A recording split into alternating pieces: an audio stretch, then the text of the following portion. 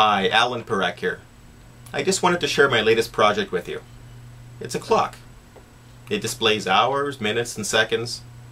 So what's so special about it? Well, it uses multimeters to do it.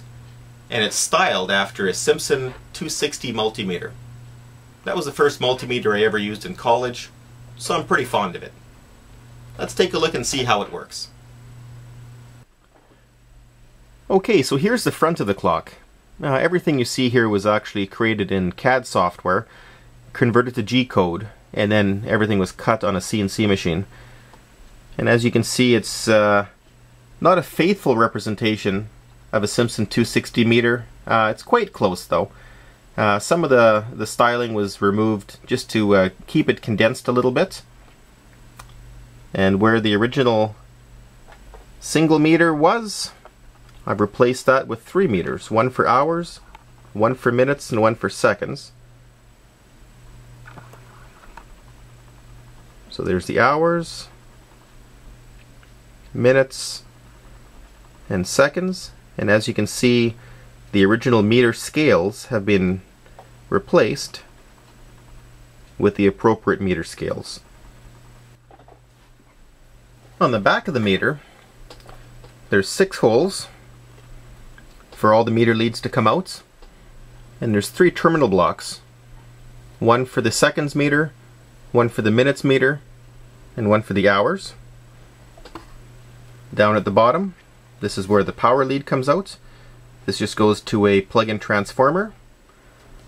This is the battery backup, which is just uh, powered by three AA batteries. This 3 AA battery holder uh, comes into this terminal block and power gets routed over to this top terminal block. And here's a close-up of the circuit board. I'll just go over briefly what the buttons and uh, jumpers are used for. The first jumper here is the scale adjust jumper. When this one is installed, it'll allow you to adjust the full scale deflection of all three meters. The next one here is the smooth second jumper. When this one is installed, the uh, second hand will actually move nice and slow. Uh, when it's out, it'll actually jump from second to second to second with a little bounce. And the three buttons down here are used to uh, adjust the time as well as adjust the scale. So in the standard run mode, when this one is pushed, it'll advance the hour by one. The next uh, button here, when it's pushed in standard mode, will adjust the minutes by one minute. It'll advance. And the last button here is the second adjustment. When that one's pushed, it'll just reset the seconds. Now, when you're in scale adjustment mode, the first button will actually uh, select which meter you're adjusting the scale for. So by pushing this, you'll go from hours to minutes to seconds and then back to hours again. And the next button here will actually decrease the scale that you currently have selected. And the last one will increase the scale that you have selected. And there's an LED here, which is the heartbeat LED. That'll flash just to indicate that it's, uh, it's working and counting.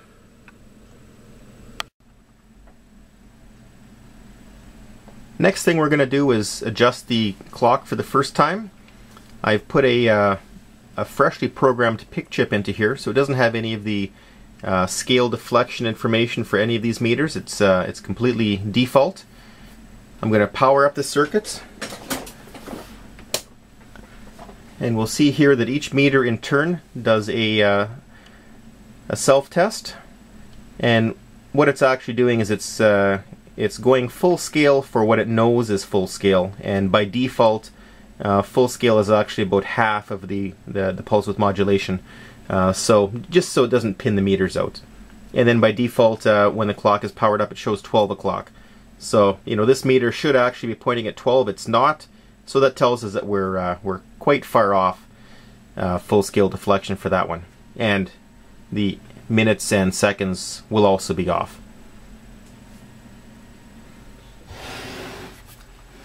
Okay, so what we're going to do, I'm also going to install the battery backup. Okay, and we can see the heartbeat LED is flashing away. So the first thing I'm going to do is I'm actually going to take the scale adjust jumper which was just uh, hanging on one pin and I'm going to short that out. So now we're actually in scale adjust mode. And you won't see this, but I'm going to be using these three buttons here, uh, as I described earlier, to actually do the adjustments.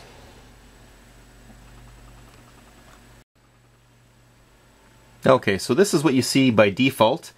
Uh, the hour meter uh, is initially set to be adjusted.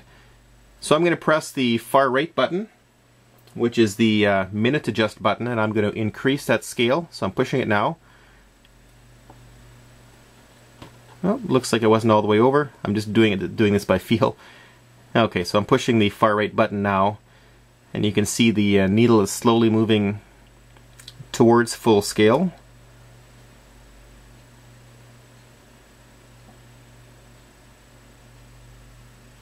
Okay, so we're around about 11 here, and almost there. Okay, so that's pretty good. I'll back off just a little bit. There we go.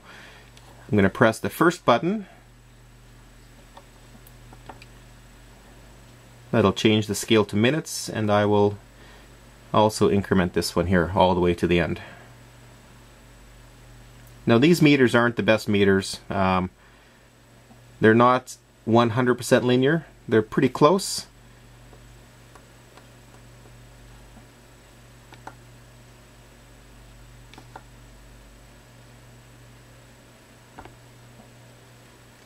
Okay, so that's at the end.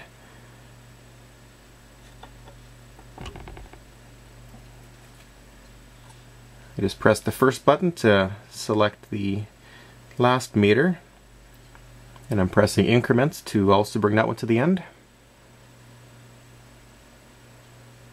And as you can see, only the meter that you're adjusting is uh, is powered. The other meters are, are both dead. Okay, so that's pinned out to the end also. No, I'm not not pinned out as in uh, over voltage, but it's actually just being uh, just being placed on the the end of the graduation there. So right now these meters are actually meter scales are being held in memory. As soon as you remove this jumper, uh, right now it it actually just got programmed to non-volatile memory onto the uh, the PIC chip here. So from now on, we can power up and power down all we want. Um, the system knows our full scale deflection of these uh, these meters now. Okay, so so this looks about right now. So we initially powered up and we were uh, 12 o'clock. So now this meter is actually pointing at 12. This meter is pointing at about 3. And you can see seconds here is slowly increasing. And so right now we're we're in the smooth second mode. I'll change that mode and you can see what that looks like. I've just pulled off the jumper and now you can actually see it sort of bounces back and forth. And you may have noticed there, as soon as this one actually reset, the minutes increased by one minute. So I'll put that jumper back in to get the smooth second effect, which I prefer.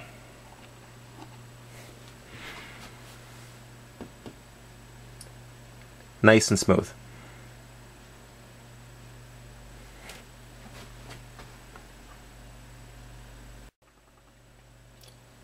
I'll just do a quick demonstration of battery backup mode. So right now we're running in standard mode. The system is plugged into the wall and the batteries are installed. I just killed the AC power.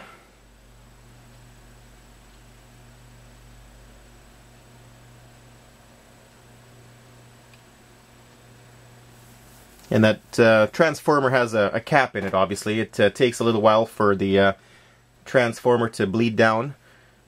And so right now the system, all the uh, the meters are off. And the heartbeat LED is not flashing. However, the microcontroller has sensed that it's in low power mode is actually is actually running off of these uh, batteries right now. And all it's doing is keeping time right now. So it's uh, It's, it's doing just the minimum amount of work to keep track of time. I'll turn the power back on and you'll see that the uh, meter scales immediately go back to uh, displaying the time that they should be.